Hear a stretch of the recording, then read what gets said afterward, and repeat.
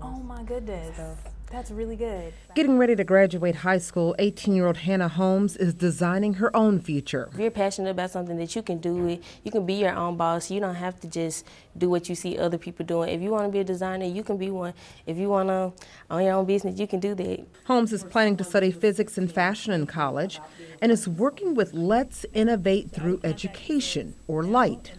We're learning like budgets, financing, and then we're learning also um, basic entrepreneurial skills and things of that sort, like how to communicate with partners, how to establish partners. Light was created almost five years ago to help students gain the necessary skills to get a great job or be successful.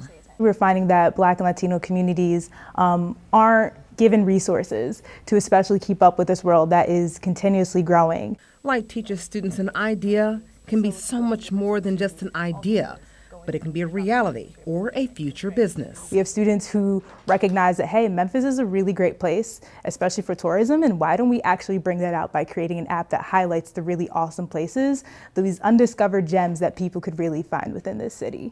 Light is currently helping 75 young students like Holmes understand that age doesn't always equal success.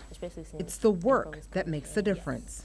Um, I say you should always step out your boundaries, step out your comfort zone. Even though it might be a new experience, you should most definitely take that experience and run with it because you never know what you might gain from it.